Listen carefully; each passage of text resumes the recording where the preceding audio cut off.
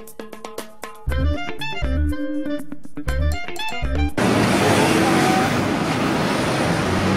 อนนี้เรากำลังอยู่ที่ถนนชินจูกุนะคะ เป็นถนนสายแฟชั่นสายหนึ่งของโตเกียวเลยทีเดียว เรากำลังจะแวะเข้าร้าน UT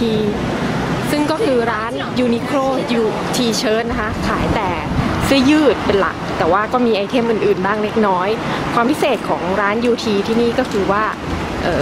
เดี๋ยวถ้าเราเข้าไปเนี่ยเราจะได้เห็นว่าตัวแพคเกจจิ้งที่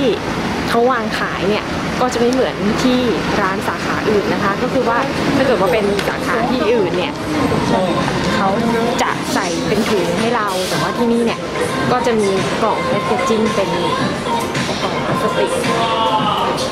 แล้วก็ในตัวแพคเกจจิ้งเนี่ยก็จะ มีแบบใส่ให้ดู แล้วก็มีลายให้ดูด้วย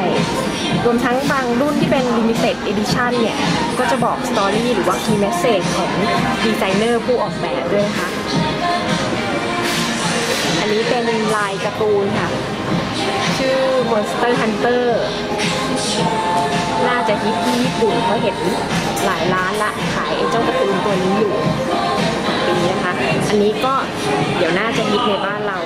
ฮอกวอตคอลเลกชันนี้เป็นคอเป็น collection Save Japan นะคะเอ่อรายได้ส่วนหนึ่งก็คือผลกำไรเนี่ยจะเอาไปให้กับบริจาคให้กับประเทศนะคะ แล้วก็ลายอะกลับมาที่ลายนี้ก่อนลายซ้ายมือเนี่ยค่ะ Lady Gaga เป็นคนออกแบบลายนี้นะคะจะมีทั้งสิ้น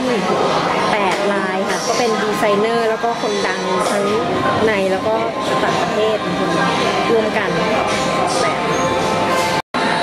อย่างที่บอกนะคะว่านอกจากเสื้อยืดแล้วเนี่ยก็จะมี item อื่นบ้างเล็กๆ น้อยๆ รวมแล้วทั้งสิ้นก็จะมีทั้งหมด 4 ชั้นค่ะตึกนี้ ชั้นแรกเนี่ยจะเป็น item รวมชายหญิง แล้วก็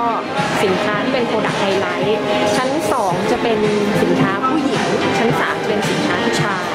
แล้วก็ที่ชั้น 4 จะเป็นเอ่อ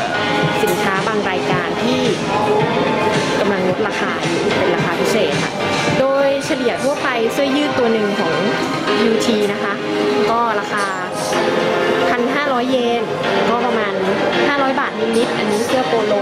1,290 แต่ถ้าเกิดว่าลดราคาก็จะ 990 เยน